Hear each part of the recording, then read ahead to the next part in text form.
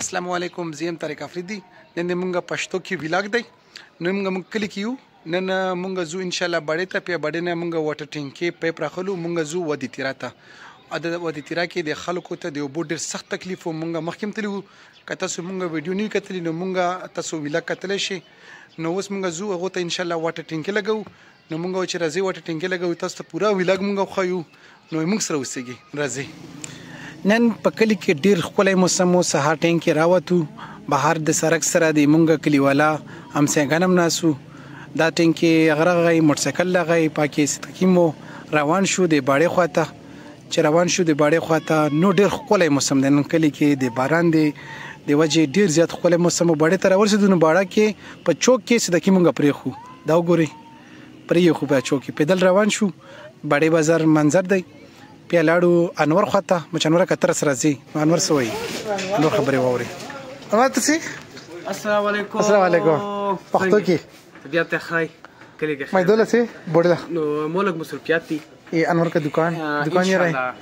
کوشش به کوو چې ټیم رو وبوسو او دلته مو چې بازلړم ښه سوچتره نه د نو خنټو ته سلام پیراغلو امام ته سکاوي ته راغلو سکاوي کې خپل ځان فرش کو پیراغلو بازار کې تازه تازه سبزی و راغلو ټنکی کې ماشاءالله حبیب کار شروع کړو حبیب ماشاءالله کار کې 1 نمبر دی چیم راغلی وي مرګري سره غپوښتو ټنکی ما چولا ټنکی لوډ شو بس ګاډی په خیر سره د روانېدو ولا وو، ما حبیب ته یو څه کار نه ویلي وو، حبیب خو کار پسې لاړو، ګاډی روان شو، مونږ بس خپل ځان تیاري ونیوله،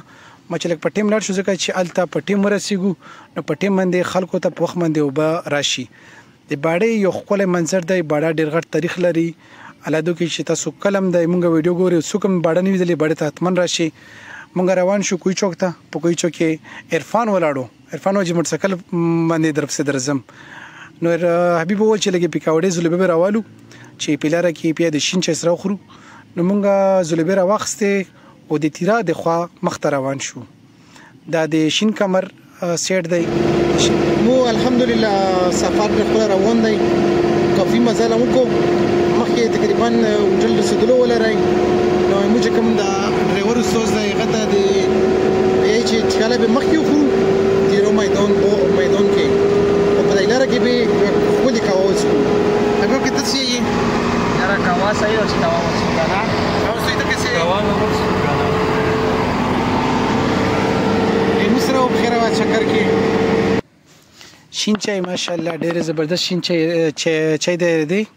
په دا کې ماشاءالله شین چای راغلی خو یخنی و مونږ د اور خواته نږدې کېنستو او د شین چای سره مونږ د ځلوبونو خوند واخیستو خپل سفر مخ ته روان شو ډیر ښکلی او د بهترین منظر دی دلته یو بل زیری چې هغه ته د اوبو ډیر سخت تکلیف دی نو هغه ځای ته مونږ راغلو چې دغه ځای وګورو که حقیقت کې د اوبو تکلیف یې هغه ځای وګورو بیا ماشومان د کلي ماشومان خواږه خواږه ماشومان هغه په مخونو باندې خپلې خنداګانې دا د د زبدونو نه مخکې یو علاقه ده اسخخلو دغه زی ته راغلو دا علاقه ده ماشاءالله خو حقیقت کې دته وبو تکلیف دی ان شاء الله روان تر کې به ان شاء الله زه کوشش کوم چې دو خلکو ته دی وبو ترتیب چې کم دی هغه مونږ برابر کو دنه بعد مونږ په خپل منزل باندې روان شو او مونږ چې کم ځکه ټینکی لګول غ سندونه و سندونه له مو په خیر سره الحمدلله ورسېدو هغه نه بعد ان شاء الله مو د ټینکی لګو په خیر سره څو ور مخکې جی الحمدلله مو تیرو بوډې سندرې تر ورسېدو ټنکې مر ورسوله ان شاء الله دا به اوس لګو په خیر سره پیپ کې به اوبر ولو ان شاء الله انا باید بیا د ځنه څوک خیر سره نو موږ سره په خیرت لري ټنکې وزن به هیڅ یو ته ځکه چې دا 5000 لیټر ټنکې رو دا مرکوزه کړه په دا ټنکې مو تر پر چکم د متمون د ټکلر وړه پیا دی تیرو صوبه